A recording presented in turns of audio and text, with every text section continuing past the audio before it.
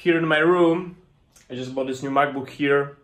It's fun to actually code here in Berlin. But you know what I like more than materialistic things? Knowledge. Hey guys, what's going on? Jakob here, as always, uh, and welcome to my third video, third part of uh, AI journey, machine learning, data science. So I haven't um, progressed that much but still I made some progress and I documented it and I want to share it with you as always. And by the way, the intro which I tried to do uh, was from this guy. Here in my garage, just bought this uh, new Lamborghini here. It's fun to drive up here in the Hollywood Hills. But you know what I like a lot more than materialistic things? Knowledge. I'm a lot more proud of these seven new bookshelves that I had to get. Yes, I'm pretty sure everyone knows who is Tai Lopez. And yeah, I just thought it might be fun. Okay, anyway guys, uh, let's jump to work.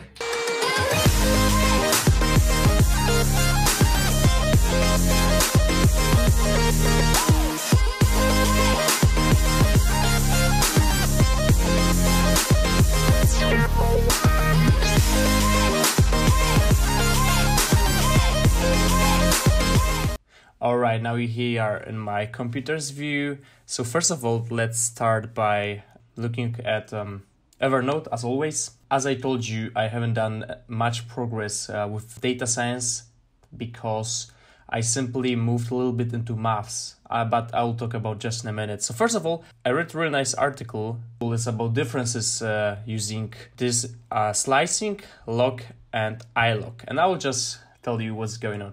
All right, let's use this example. So here we have a data sets, the data set called tracks.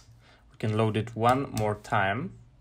All right, uh, so here is an example how loc uh, works. So basically loc is looking for a location. It's checking the names. Here I pass the semicolon, I guess it's semicolon, yeah. And which means which we are selecting all of the rows from the data set. And then I pass those two uh, names of the rows so simply from the ID to time, give me all of the columns from ID to time. I can also, for example, go give me all of the columns from speed to distance. Okay, so this is how loc works. Now let's do iloc. So basically iloc is uh, for indexes. And for example, 0 to 2 means give me all of the indexes of uh, columns from 0, which is the index uh, index column, to ID Android, which is on the second place. It works a little bit different than slicing in Python because here uh, the last index is actually included.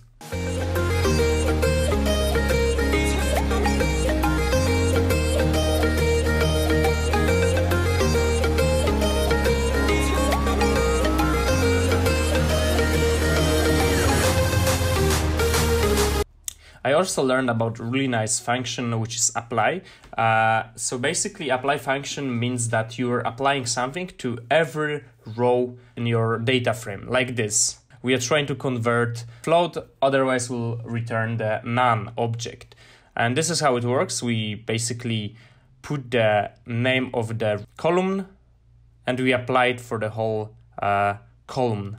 And now also I wanted to tell you uh, what does mean this uh, semicolon operator without iloc or loc, like just a slicing symbol. So basically this operator means that first uh, it tries to make iloc for indexes and it will fails, then it goes back and make loc. This is why you shouldn't use uh, in pandas uh, this operator of slicing, rather just use iloc or loc.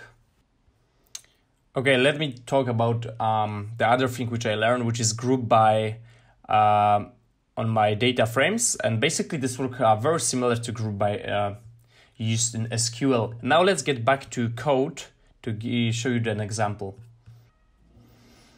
Okay, so for example, uh, let's say that we want to group by this and we want to count how many there are car or buses. So we can use tracks, then group by method. We, we are taking the car or bus uh, here index. So this is what we are group buying. And then we are counting all of the um, IDs, which is like every, every single row. As you can see, we have 163 rows and the result is the same after adding this. So we can see that one is, for example, car, two is bus, and we have 87 cars and 76 uh, buses. Tuesday just finished. Busy day, busy days. Almost 12 hours here. And now I gotta go home, eat something. See you.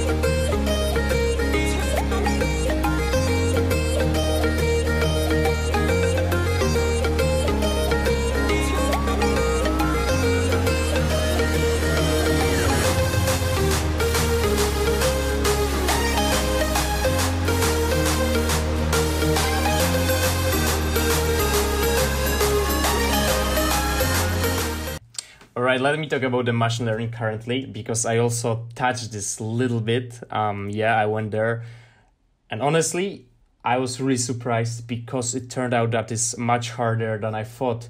Um, so honestly, uh, I have really a lot of lack of maths uh, so I decided to actually because first I was like thinking that yeah I may just learn some methods, learn how to use them, and then I will not need a math at all. But yeah, unfortunately I will need uh, a math which is like more advanced math, um, and then I will jump again to machine learning. So let me show you what I uh, what I did due to that. Okay, so uh, in the first video I showed you this channel and uh, resources, and basically uh, this guy is making great videos about linear algebra. So I actually watched his videos and I tried to understand some basic concepts of linear algebra. And then I believe that, I mean, it helped me, but it will help me uh, more in a future task of um, machine, for machine learning.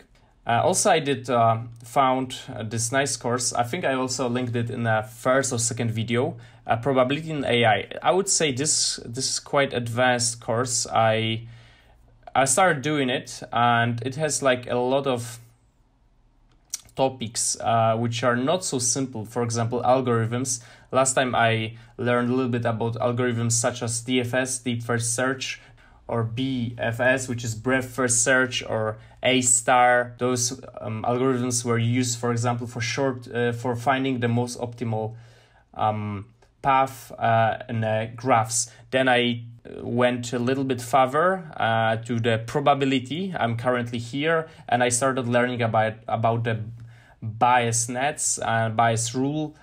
Um, sorry, Bayes rule. this is how I think it should be pronounced. Um, let me show you what actually is my plan for this week as well. So I was watching Sentdex for a long time, and I was thinking that actually it's it, it may be time for going through his course about uh, deep learning uh, using PyTorch or his um, reinforcement learning uh, playlist. Alright guys, that's it for this week. Uh, let me know what do you think. Uh, write a comment, hit the like button, subscribe my channel and see you next time.